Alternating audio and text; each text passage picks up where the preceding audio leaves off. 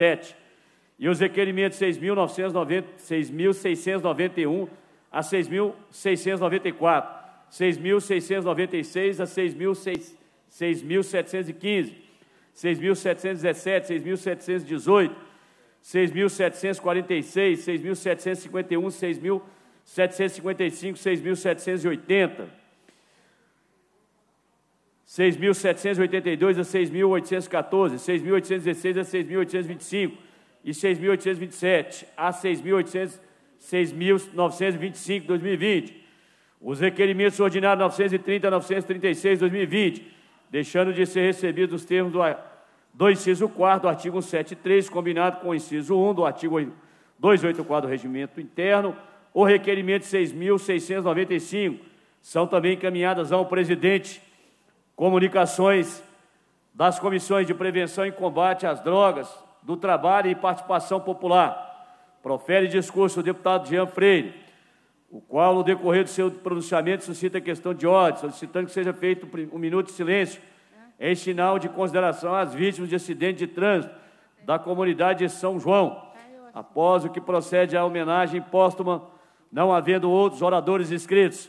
Passa-se a segunda parte da reunião em sua primeira fase, momento em que a presidência informa ao plenário que foram aprovados nos termos do parágrafo único do artigo 103 do Regimento Interno os requerimentos 6.691, 6.693, 6.694, 6.699, 6.701 a 6.707, 6.710, 6.711 e 6.746 de 2020 e da ciência das comunicações hoje apresentadas. Nesse passo, o presidente verifica de plano a inexistência de quórum para a continuação dos trabalhos e encerra a reunião, convocando as deputadas e os deputados para a ordinária de terça-feira, dia 1 de dezembro, às 14 horas, anunciando a ordem do dia. Levanta-se a reunião. Esta é a ata, senhor presidente.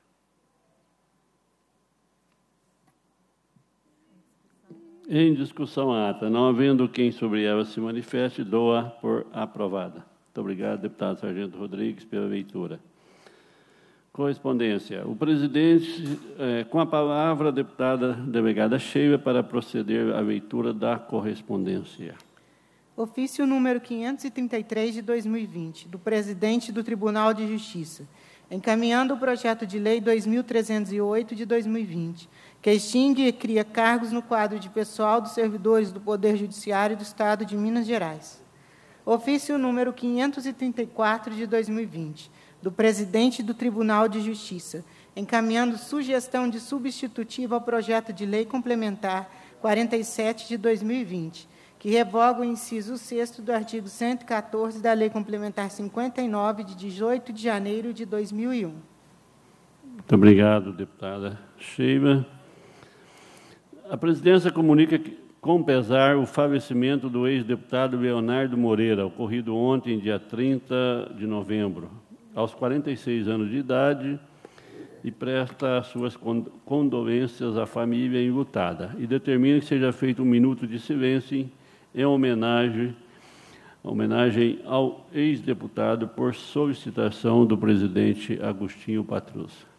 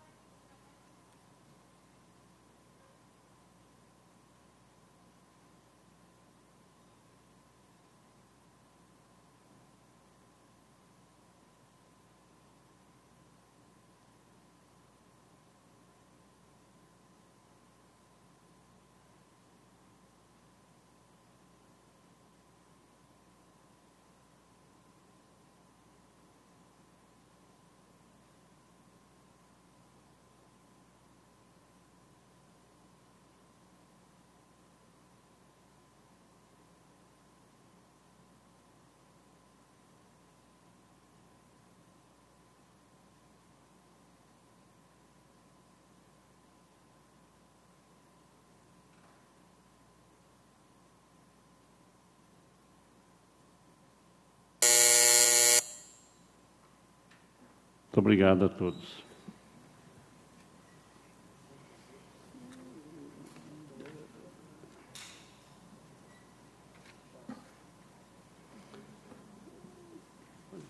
Tá pode pular, né?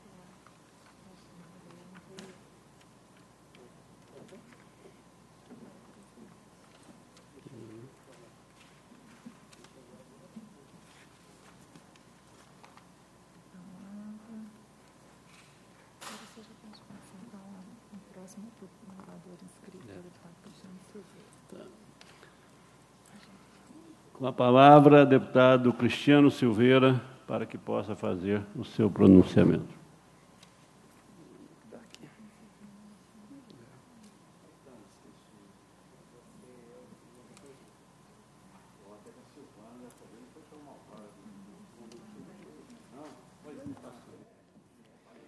Senhor presidente, colegas deputados, público que nos acompanha pela TV Assembleia, pela internet. Presidente, depois de muito tempo, retorno aqui à tribuna, claro, né, com todos os cuidados necessários com relação à Covid-19, todos nós aqui obedecendo o distanciamento, usando as nossas máscaras, utilizando aqui a, o álcool em gel. Mas como eu presidi um webinário pela manhã sobre os 300 anos de Minas Gerais, representando deputado Agostinho Patrus, nosso presidente, que desejamos aí a sua plena recuperação. Estava é, na casa resolvi então fazer o meu pronunciamento a partir aqui da tribuna. É, a gente matando a saudade de poder falar direto aqui da tribuna no nosso plenário. Bem, a primeira questão, presidente, eu queria. Tivemos aí o segundo turno das eleições nesse último domingo, e eu não poderia deixar de cumprimentar é, duas grandes companheiras que foram vitoriosas nesse último domingo. A companheira, colega nossa, parlamentar, deputada estadual Marília Campos, foi eleita prefeita em Contagem, ela que já governou a cidade por duas vezes, por dois mandatos, retoma agora a, ao governo municipal a partir de 2021. Quero então dizer para Marília que a gente que eu desejo a ela um ótimo mandato, uma grande gestão, que consiga ter a oportunidade de implementar as suas propostas que foram apresentadas nas eleições. Marília foi vitoriosa porque fez uma campanha de conteúdo, né? Prevaleceu a sua biografia, a sua história e as propostas que ela então pôde apresentar nessa eleição. Também uma outra importante vitória do Partido dos Trabalhadores nesse final de semana foi a eleição da deputada federal Margarida Solomão. Foi uma grande reitora na Universidade Federal de Juiz de Fora e também uma excelente parlamentar, brilhante parlamentar. Quem acompanha o mandato da Margarida sabe da sua capacidade, do seu compromisso, de seriedade. E Margarida foi eleita agora em segundo turno, a prefeita da, da importante cidade na Zona da Mata de Juiz de Fora. Ou seja, das quatro cidades que tivemos segundo turno, o Partido dos Trabalhadores participou de duas e ambas nós fomos vitoriosos. Então, fica aqui os meus parabéns, os meus cumprimentos a essas duas grandes companheiras e a toda a população dessas cidades que, mesmo diante das fake news, das mentiras, dos pseudos antipetismo, anti-esquerda e tudo isso que, lamentavelmente, vem permeando a política, a ausência completa de debate de conteúdo, e uma campanha feita apenas por simbolismos imaginários, a população, pelo menos dessas duas cidades, conseguiu ter o discernimento necessário para fazer as suas escolhas.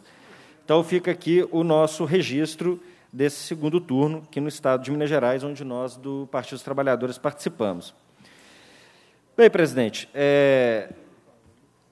eu quero trazer agora a minha, a minha discussão para algo que me preocupa muito que é a condição do povo brasileiro. E como Minas Gerais não é uma ilha, isso vai ter reflexo, reflexos também no nosso Estado. Eu digo que é a questão do fim do pagamento do auxílio emergencial. Nós vimos que o auxílio emergencial foi fundamental para ajudar milhares, milhões de pessoas brasileiros a superar o problema na crise da pandemia. Muitos ficaram sem renda, muitos ficaram desempregados e com isso, a criação do auxílio emergencial ajudou a superar um momento que ainda não terminou. Pelo contrário, quando a gente analisa os dados de contaminação, a, o, o, de, de, óbitos no Brasil, e Minas não é diferente, a ocupação nas taxas hospitalares, para diferente do que muitos acham, estamos longe de sair da crise da, dessa pandemia e ainda vivemos momentos difíceis. É o que a gente costuma dizer, não é porque todos nós estamos muito cansados que a, que a pandemia acabou. Na é verdade, então a gente precisa ter todos esses cuidados.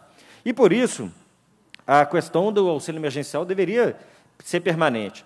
Na verdade, eu não estou nem discutindo mais auxílio emergencial, eu já estou na lógica, como alguns economistas no mundo afora, de que nós precisamos discutir uma renda mínima para a população, para todo cidadão.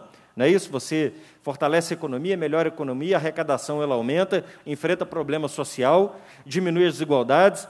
Então, você pegar uma parte, um pedaço do orçamento para garantir uma renda mínima não é nada demais. Agora, imagine que a gente não tem renda mínima em tempos normais, deixar de ter num momento tão grave de pandemia. A matéria que nós vimos no jornal Valor Econômico, ela traz, inclusive, é, o impacto que isso poderá ter aqui em Minas Gerais. O entrevistado foi o secretário Matheus Simões. Né? É, segundo o secretário, ele estima um aumento de 40% da pobreza no próximo ano em Minas Gerais, 40%, é, por conta do fim do pagamento do auxílio emergencial de 300 reais, que hoje é bancado pela União. Então, nós estamos falando de mais de 14% da população mineira, cerca de 2,8 milhões de pessoas. É, o governo Zema, é interessante essa preocupação, porque o governo Zema, que é tão aliado, tão amigo do governo Bolsonaro, deveria fazer uma ponderação ao presidente, né, de como isso vai impactar o Brasil e Minas Gerais não será diferente. Olha o dado que eu trouxe. Nós estamos falando aqui 40% de aumento na pobreza no estado de Minas Gerais no próximo ano. Isso não impediria o Estado também de ter políticas próprias, né? no caso é, dos pagamentos de auxílios, diferente do que o governo criou lá atrás, que é uma micharinha, um valor pequeno que não compra aí o, o saco de arroz pelo preço que o arroz subiu no Brasil. Mas, enfim, vamos lá. Combinado ao momento de pandemia, e agora uma parcela expressiva da população não vai ter renda alguma, porque termina-se então o auxílio emergencial, qual que é o outro agravante? Os dados hoje da taxa de ocupação de emprego no Brasil estão apontando 14,1% de ocupação. Nós estamos falando de 49,3%, menos da metade da população que está trabalhando.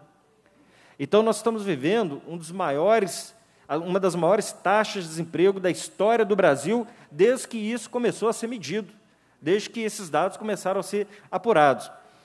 É interessante que eu me lembro que há uns cinco anos atrás, e alguns colegas festejavam isso aqui no plenário, foi quando tivemos aí o, o impeachment, né?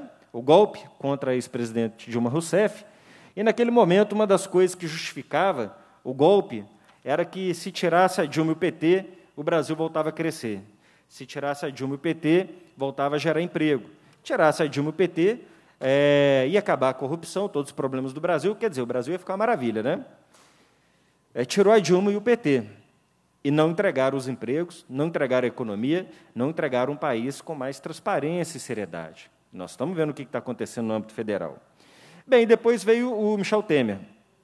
E o Temer dizia o seguinte: olha, se a gente não aprovar a terceirização, a economia não volta a crescer, o Brasil não volta a gerar emprego e a gente não sai da recessão. Depois disso, o seguinte: temos que aprovar a reforma trabalhista, que se não aprovar a reforma trabalhista, não, o país não volta a crescer, a economia não melhora, não volta a gerar emprego. Aí, enfim, Aí foi vindo uma atrás da. Ah, temos que aprovar o limite de gastos públicos, que foi a emenda constitucional 95, congelando por 20 anos os investimentos. E nós vimos que nesse momento da saúde, como é que isso foi um agravante. Isso tudo que foi prometido e foi aprovado não trouxe os efeitos os resultados que também prometeram para a população. Então é momento da gente parar e analisar. Analisar o que está sendo feito no Brasil, as medidas que estão sendo tomadas e os impactos que isso estão acontecendo no nosso país. É, lamentavelmente, a gente vê um, um, presidente da República que responsabilidade zero com a saúde. Responsabilidade zero. Não tem muito tempo, nós vimos a polêmica que ele criou com o governo do estado de São Paulo por causa de vacina. Não, vacina chinesa nós não queremos. Né? Vacina virou agora um, um, debate ideológico, deixou de ser um debate de saúde pública e virou um debate ideológico. Não, não quero a vacina de São Paulo porque vai ajudar o João Dória se ele for candidato a presidente da República. Então, é o cúmulo, gente. Um cara que mente descaradamente, no começo da pandemia, nós temos vídeos, está na internet, é só qualquer um que está me ouvindo aqui dar um Google e conferir. Que não era, não era uma gripezinha que ia derrubar ele, que era só uma gripezinha, e depois, em pronunciamento, ele diz: Olha, nunca falei que a Covid era só uma gripezinha. Estava vendo a situação dramática que o Brasil vai viver. Né? Isso deve explicar, entre outras coisas, porque o presidente Bolsonaro foi um grande derrotado nessas eleições. Os, aqueles que ele, que ele escolheu como aliado para poder apoiar foram amplamente derrotados. Isso já pode ser um sinal do esgotamento desse modelo político que trouxe de é, excesso de cunho ideológico, nem sei se é ideológico também, porque não tem muito fundamento, né? E ausência completa de planejamento, de programa, de organização, de proposta para melhorar a vida do, do povo brasileiro. Bem, como, nem, como as notícias ruins não terminam por aqui, nessa terça-feira, a Agência Nacional de Energia Elétrica é, autoriza o aumento nas contas de energia elétrica. É, porque agora vai voltar ao modelo de, de cobrança, como tendo como referência as bandeiras, e sabemos que a bandeira vermelha ela onera ainda mais as contas de luz. Então, quer dizer, a pandemia não acabou, a pandemia não acabou, mas corta o auxílio emergencial, taxa de desemprego mais de 14%, e agora também o aumento das contas de energia elétrica, tarifa de energia elétrica. Olha que absurdo, gente. Olha a situação que o Brasil está vivendo, olha como é que está a situação do povo trabalhador, do povo mais pobre nesse país. Aumento nas contas de energia elétrica. E isso para o povo de Minas Gerais pode piorar ainda mais, viu? Porque se vier a cabo o que o, o governador Zema está propondo, que é a venda da CEMIG, isso se tornou uma obsessão do governo, isso poderá trazer para nós um serviço de pior qualidade com um custo mais elevado.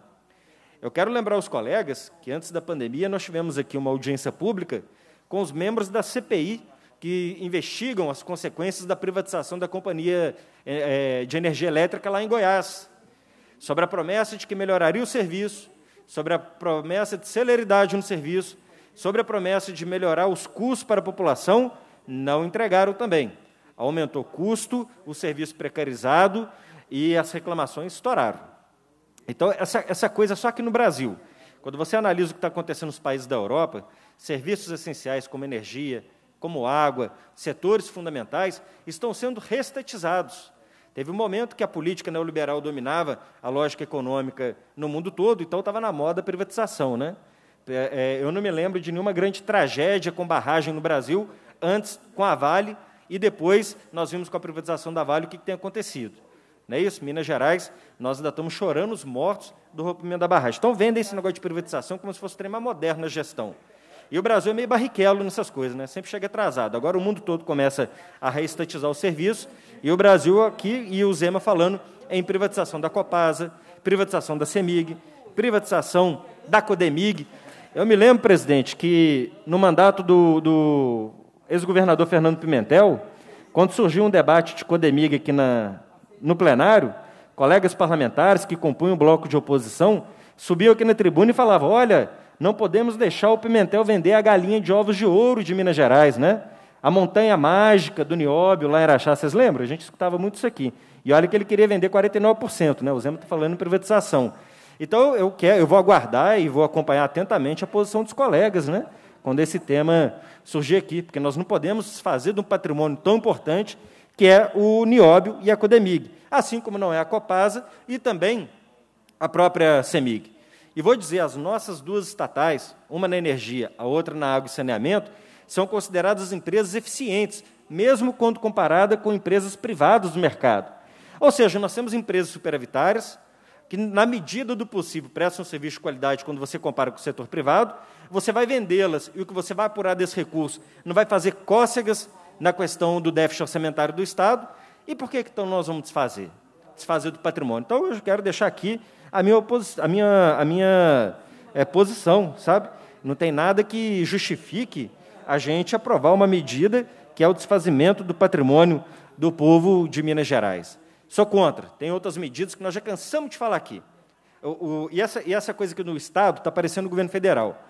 Quando começou o governo do Zema, ele falou o seguinte: olha, tem que aprovar aqui a reforma administrativa, que se não aprovar a reforma administrativa, não dá para pagar em dia o salário, não dá para pôr a folha em dia.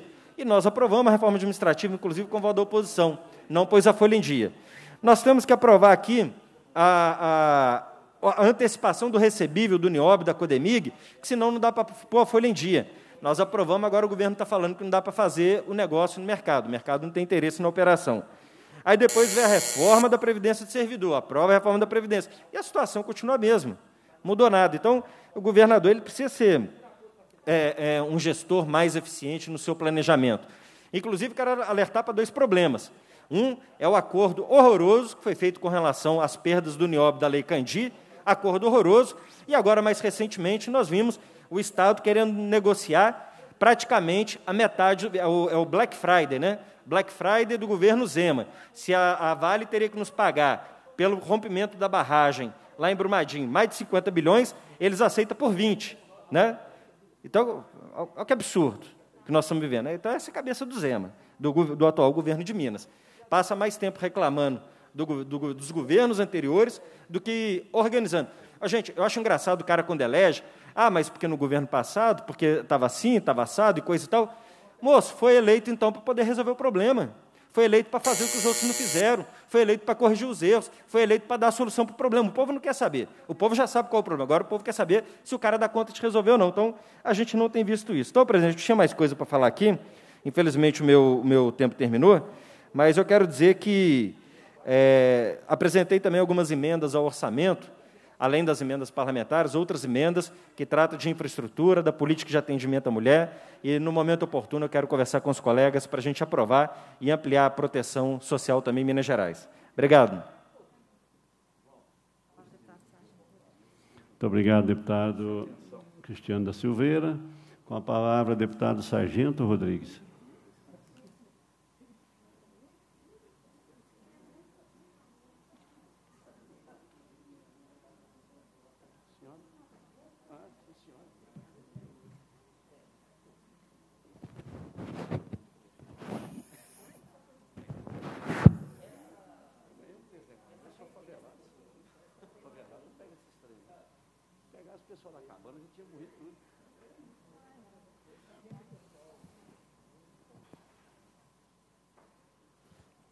Senhor presidente, senhores deputados, senhoras deputadas.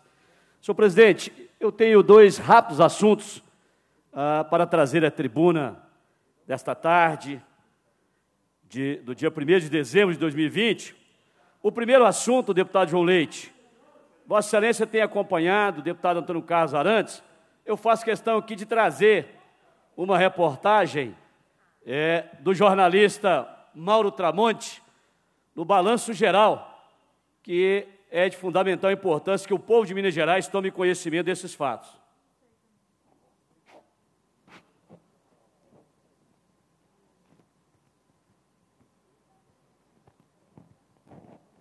Estava usando uma tornozeleira eletrônica, mas nem isso foi preso em flagrante depois de invadir uma casa no bairro Mangabeiras, na região centro-sul de BH. Ele quebrou o pé tentando fugir da polícia. O cara saiu da prisão havia cinco dias. Estava usando uma tornozeleira eletrônica, mas nem isso segurou o sujeito. Vamos ver. Assim que o ladrão foi detido, a viatura veio direto para o hospital Odilon Berens. É que na tentativa de fuga, ele pulou um muro de 5 metros de altura, o equivalente a quase dois andares de um prédio. Por volta de 5 horas da manhã, nós fomos acionados que uma pessoa tinha invadido uma casa no bairro Mangabeiros. Aí de imediato nós fomos para o local. Chegando lá, nós fizemos o cerco ele pulou de uma casa para outra. Na queda, o suspeito acabou quebrando o calcanhar. O muro que ele pulou dava acesso a uma outra casa. Os militares já haviam cercado o local. Mesmo machucado e com a ação da polícia, o criminoso ainda tentou escapar. A outra casa era bem mais protegida, tinha cerca elétrica, tinha consentina. Então aí ele não conseguiu, aí nós conseguimos fazer a prisão dele. O homem é dono de uma ficha criminal extensa. Tem 27 passagens pela polícia. Tráfico, furto e roubo. Ele saiu da cadeia havia cinco dias e usava uma tornozeleira eletrônica. Deputado João Leite, deputado Antônio Carlos Arantes, demais colegas deputados e deputadas, 27 passagens pela polícia, havia cinco dias que havia solto, sido solto por determinação judicial, utilizavam a tornozeleira eletrônica. Deputado João Leite, é, a minha fala, nesse momento, vai para o secretário Igoreto, para o governador Romeu Zema, que infelizmente o secretário adjunto da Sejusp, o senhor Gustavo Tostes, cortou o acesso da senha da Polícia Militar e da Polícia Civil ao monitoramento eletrônico dos criminosos que estão utilizando tornozeleira eletrônica. Deputado Antônio Carlos Arantes, além disso, esteve aqui na Comissão de Segurança Pública, não deu uma explicação plausível do ponto de vista jurídico. Sabe por quê, deputado Antônio Carlos Arantes? Porque o artigo 297 da Constituição do Estado determina o acesso comum entre as informações que ainda foi regulamentado pela Lei 13968 de 2001. A Polícia Militar e a Polícia Civil terão acesso comum aos dados sobre segurança pública pertencente a órgãos da administração pública estadual. É assim que diz a lei. Mas o secretário adjunto, o senhor Gustavo Tostes, não sabemos por qual interesse cortou o acesso da senha da Polícia Militar e da Polícia Civil aos criminosos que estão utilizando tornozeleira eletrônica. E aqui, deputado João Leite, mais uma vez a Polícia Militar demonstrou a sua competência, que foi acionada. Pasmem, senhores e senhoras, inclusive os agressores violentos que agrediram suas esposas, suas parceiras, companheiras, que são vítimas da Lei Maria da Penha. Também não pode acompanhar. Enquanto isso, deputado João Leite, a Polícia Militar e a Polícia Civil ficam de mãos amarradas. E é por isso que eu disponibilizei esse vídeo de uma matéria de um colega nosso e também jornalista Mauro Tramonte. Isso não pode continuar. Nós esperamos que o secretário Igor Eto, que o governador Romeu Zema, tome a iniciativa imediatamente e ponha o secretário adjunto Gustavo Tosse em seu lugar. Ou seja, se ele sentou na cadeira, não pode contribuir com a integração das forças de segurança pública para melhorar a segurança pública da população, então esse moço não é muito bem-vindo à Secretaria de Justiça e Segurança Pública. Concedo uma parte ao ilustre colega deputado João Leite. Deputado Sargento Rodrigues, Vossa Excelência tem todo o meu apoio. Nós não podemos deixar a população de Minas Gerais é, fragilizada dessa maneira.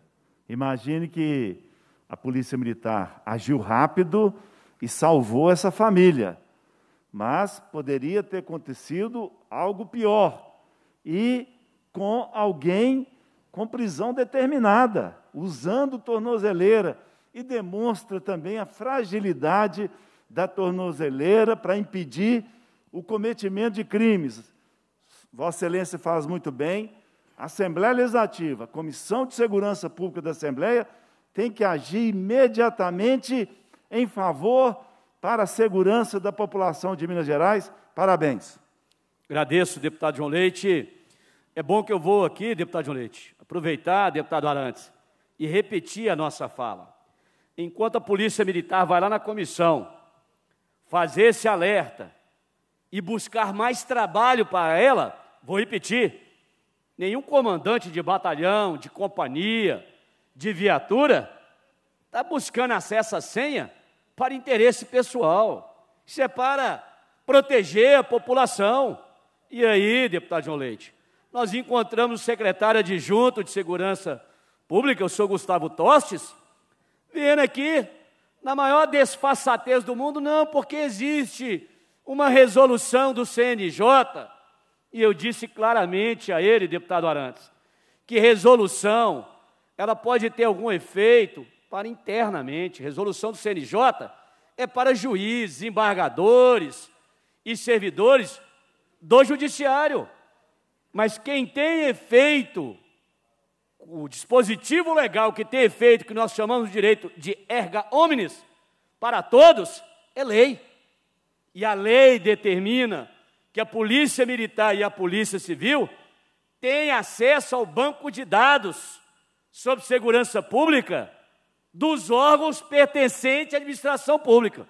Parece que o senhor Gustavo Tostes não entendeu o comando expresso do artigo 297 da Constituição do Estado e também da Lei 13968. Quem sabe o secretário Igor Eto, quem sabe o governador Romeu Zema, ouvindo a denúncia da Comissão de Segurança Pública, deputado João Leite, possa cobrar a responsabilidade desse senhor Gustavo Tostes e imediatamente determinar o compartilhamento desses dados com a Polícia Civil e Militar para o benefício do cidadão. Imagine, deputado Arantes, 27 passagens pela polícia, utilizava tornozeleira eletrônica e mais uma vez estava praticando o quê? Um arrombamento a uma residência no bairro Mangabeiras. Esse é o primeiro assunto, deputado João Leite. E o segundo assunto, trago aqui, deputado João Leite, um vídeo muito curtinho, mas eu não consegui ouvir a fala desse cidadão e não repercutir aqui na tribuna desta casa, porque nós já o conhecemos bem, deputado João Leite. Então, eu faço aqui também a outra, a outra parte desse meu pronunciamento.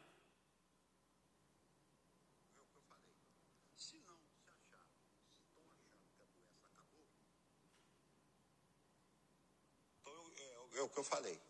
Se não se acharam, se estão achando que a doença acabou, eu fecho tudo de novo. E disse em alto e bom som lá, numa entrevista coletiva. Se quando precisar do voto eu fechei, imagina agora que eu não preciso. Deputado João Leite, esse é o ditador que Belo Horizonte elegeu mais uma vez. Me chamou a atenção, deputado João Leite, é que se fosse o presidente Jair Bolsonaro que tivesse dito isso, as manchetes seriam estampadas em todos os jornais do Brasil e olhe lá se não fosse no mundo.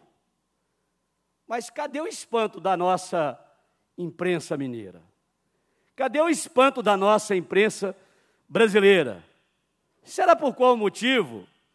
Porque um cidadão com essa arrogância, arrogante, ditador, dizer que agora ele não precisa mais do voto, que ele fecha Belo Horizonte.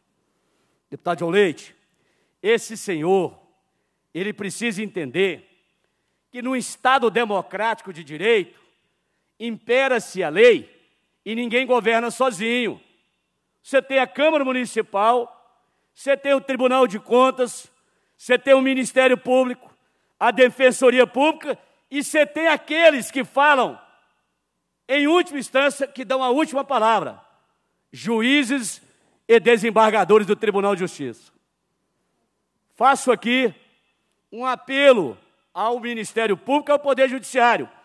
Esse cidadão não pode continuar governando com esses arroubos autoritários, ditadores, que ele vem soltando ao longo desse tempo.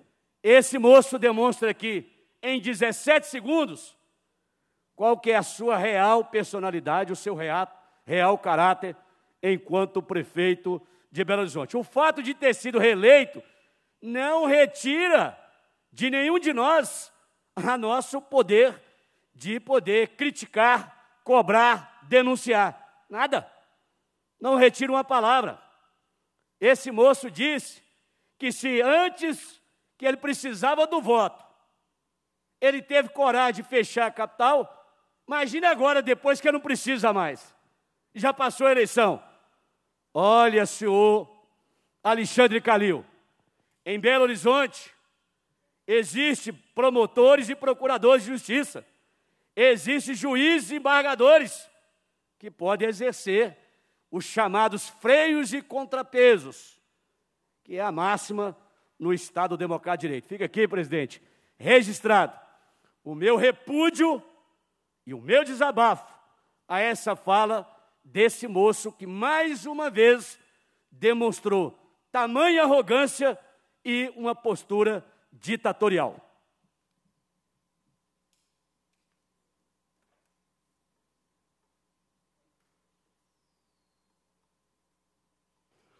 Palavra a deputada Andréia de Jesus.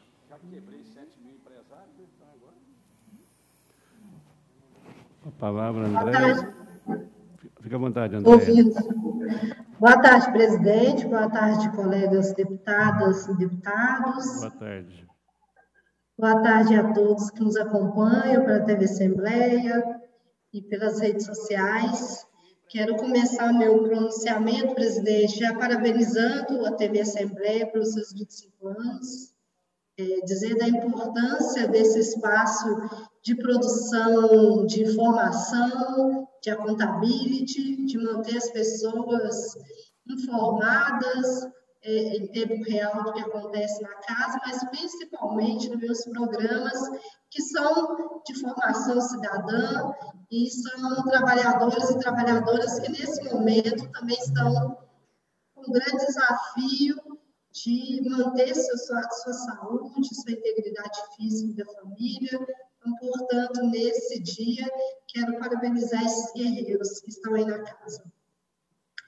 Quero também trazer à tribuna, presidente, né, é, parabenizar e reivindicar, né, reverenciar o trabalho corajoso e aguerrido de todas as mulheres, principalmente as mulheres negras, que dispuseram, colocaram seu corpo à disposição para a ocupação institucional, para a ocupação da política.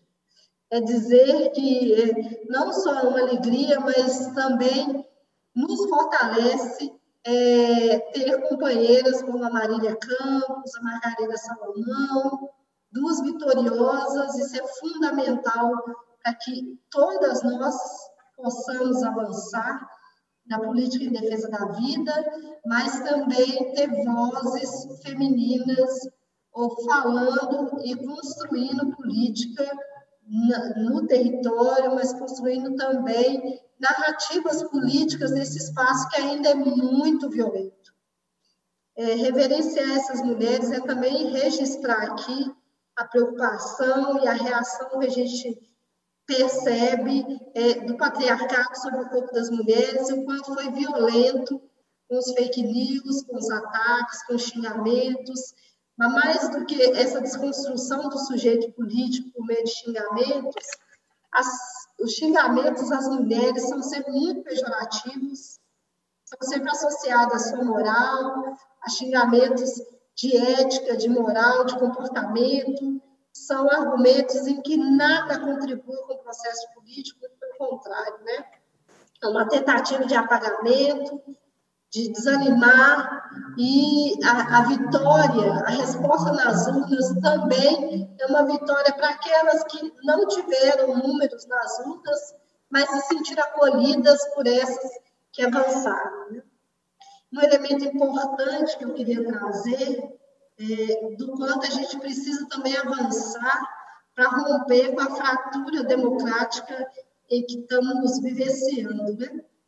É, todos nós, parlamentares, temos que estar comprometidos em resolver isso. É, é uma tarefa que não demanda atalho, não, não basta construir atalhos para ocupar a institucionalidade, manter a democracia.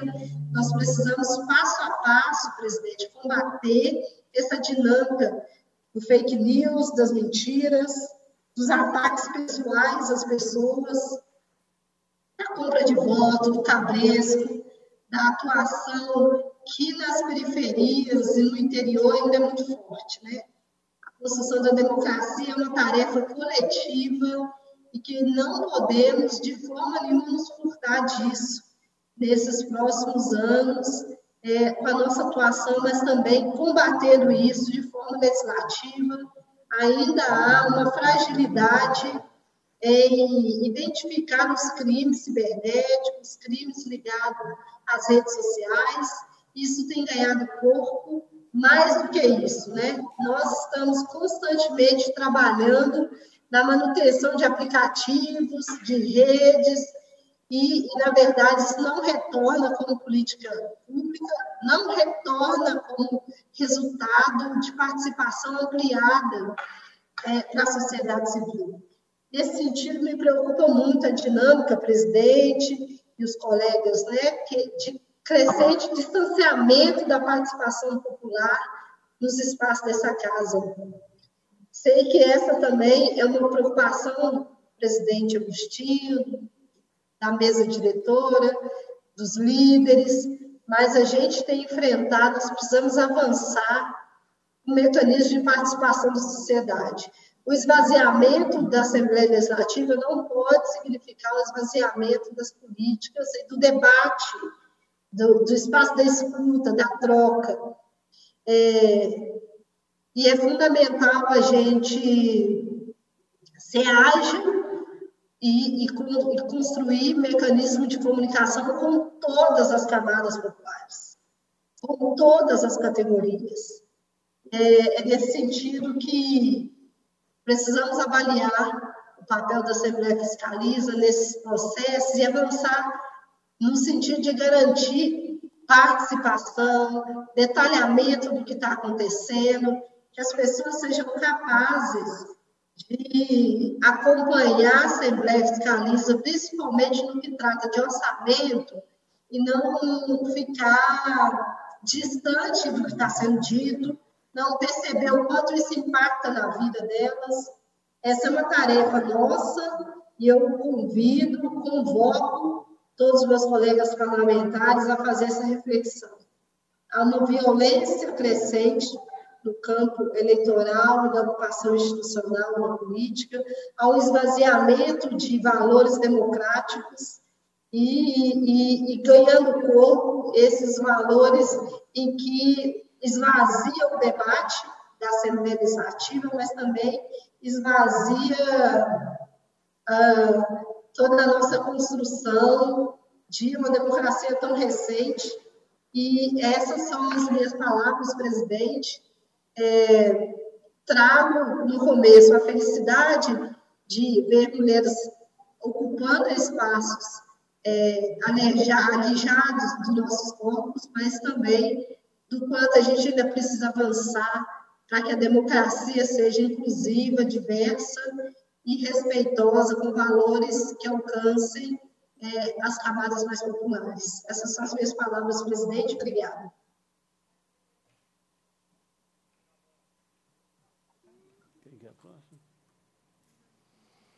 Muito obrigado, deputada Andréa. Com a palavra, deputado Bartô.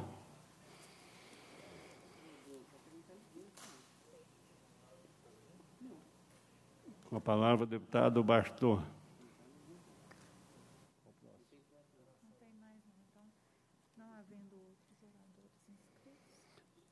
Não havendo outros oradores inscritos, a presidência passa a segunda parte da reunião com a primeira fase da ordem do dia, compreendendo e a. a Deputado Bartô, tá, gostaria de usar a palavra? Sim, por favor, presidente. Está com a palavra, então, fique à vontade. Primeiramente, peço desculpa em atrasar um pouquinho na entrada, mas é que tinha uma deputada na nossa frente, estava aguardando a fala dela, acabou que ela não falou. Presidente, hoje eu estou aqui também para trazer é, o mesmo assunto que o deputado Sargento Rodrigues trouxe, sobre as palavras do prefeito de Belo Horizonte. É, a gente tem que entender que o cara é apenas um prefeito, ele não é dono da fazenda que fecha a porteira e esbraveja, não. Ele está ali para representar um povo e não para poder ameaçar o povo. Né? A gente sabe que o Covid está voltando, uma segunda onda um pouco mais forte. É, presenciamos isso aqui, inclusive aqui na casa, com colegas com Covid, e acredito até que esse é o maior sentimento que a população pode ter, saber se o Covid está voltando ou não, é ao seu redor sentir como que tem novas pessoas sendo infectadas, né? Mas as lideranças têm que dar exemplo. As lideranças têm que trazer discussões que agregam a população e não simplesmente esbravejar, não simplesmente tratar o povo como se fosse ignorantes e gado, aonde tem que fechar, compactar e fazer do, bem, do jeito que bem entende. Né? Então, aqui eu venho fazer realmente uma crítica a essa postura dele, que, que, me, que não pode ficar né, sem ter uma palavra aqui por parte das outras autoridades também, e também ensejar aqui, voltando para a população, a necessidade que a população sempre deve olhar para si mesmo. Como que pode se, se, se, se posicionar, como se pode é, é, é ter os próprios cuidados e lidar com essa pandemia, né?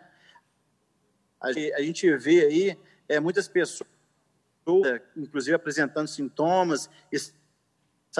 Aí eu, por exemplo, durante a campanha, Teve um dia que, que a gente teve com uma pessoa, no outro dia ela ligou falou que estava com Covid. Eu disse, mas como é que você sabe da Covid? Não, porque eu fiz o exame. Não, mas se você fez o exame, você estava com dúvida. Por que você estava com a gente? Dúvida, né? Então, é realmente a gente trazer a, o cidadão ter consciência de, do que está a situação ao seu redor e como que ele deve se posicionar e, principalmente, a responsabilidade para com o outro, né? A gente aqui não defende mais isolamento, a gente já defende que é uma doença conhecida com várias informações que, que nutrem né, a sociedade para poder saber lidar com ela, mas também a gente tem que ter o senso de responsabilidade, onde as pessoas que estão na dúvida, as pessoas que tiveram com outras pessoas que têm Covid, essas devem ter o cuidado com os demais do lado dela, né? E não sair assim é, é, ao léu, independente do que for, né?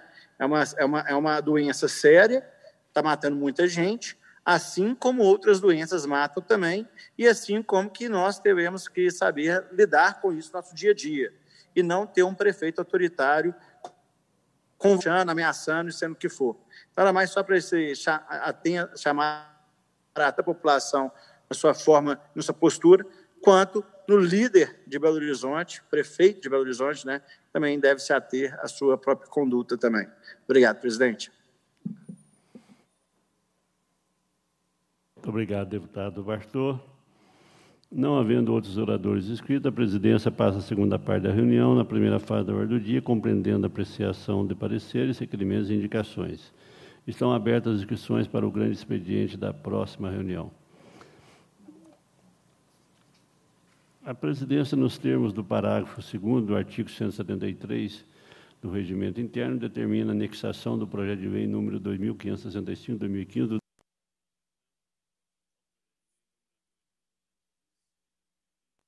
o governador do Estado, por guardarem semelhanças entre si e por tratarem da matéria de iniciativa privada do governo, de iniciativa privativa do governador do Estado. Mesa da Assembleia, dezembro de 2020.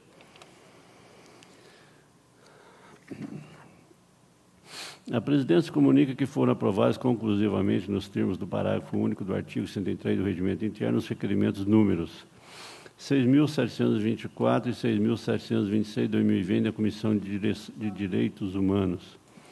6.742, 6.743, 6.748, 6.749, 6.956 de 2020 da Comissão de Segurança Pública.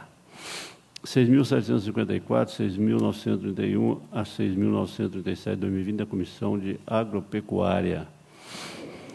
6.928, 2020, da Comissão de Prevenção e Combate às Drogas. 6.940, 2020, da Comissão de Meio Ambiente. 6.952, 2020, da Comissão de Saúde. 6.954, 6.955, 2020, da Comissão de Participação Popular. 6.958 a 6.960. 6.962, 6.963, 6.965 a 6.969 6.995, 6.999 a 7.001. 7.025 e 7.026, 2020, da Comissão de Transportes. 6.972, 6.977, 6.978, 6.981, 6.982 e 6.994, 2020, da Comissão de Trabalho, de Direitos da Mulher e Direitos Humanos, de Prevenção e Combate às Drogas, de Esporte e da Pessoa com Deficiência. 7.003, 7.006, 7.003, 2020, da Comissão de Educação. 7.017, 7.000 7.000 a 7.024, 2020, da Comissão de Minas e Energia. 7.027 e 7.029 e 7.033, 2020, da Comissão de Desenvolvimento Econômico e da Comissão Extraordinária de Turismo e Gastronomia e 7.047 a 7.051 em 2020, da Comissão de Redação, de Administração Pública, de Justiça, de Fiscalização Financeira e de Participação Popular. Publique-se para os fins do artigo 104 do Regimento Interno.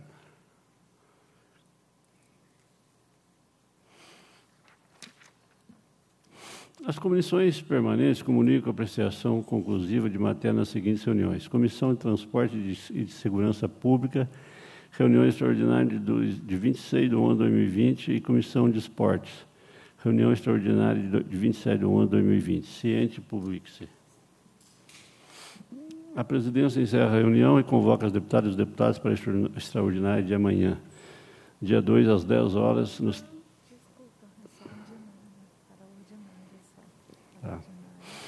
A presidência encerra a reunião e convoca os deputados e deputadas para a reunião ordinária também de amanhã às 14 horas, com a ordem do dia a ser publicada. E para especial, na mesma data, às 17 horas, destinada a comemorar os 300 anos de Minas Gerais.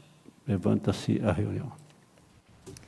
Você acompanhou, portanto, o primeiro vice-presidente da Casa, deputado Antônio Carlos Arantes, que conduziu esta reunião, que teve o posicionamento de vários parlamentares que usaram a tribuna para falar sobre assuntos diversos relacionados a, ao mandato de cada um deles. E nós vamos agora ao auditório José Alencar, onde a Comissão de Direitos Humanos vai realizar uma audiência pública, realiza uma audiência pública para debater denúncias num processo da mineradora Herculano Minerações, no município do Cerro, tendo em vista possíveis violações de direitos humanos que chegaram a essa comissão. Vamos acompanhar os depoimentos, alguns sendo feitos por forma remota, como deste momento. Vamos acompanhar. Meu pedido de vista só foi deferido após a manifestação da pró-reitoria da PUC Minas ou seja, eu, enquanto conselheiro, não tive voz suficiente para poder ter o meu pedido de vista atendido, que só foi atendido após manifestação da Pró-Reitoria da PUC Minas.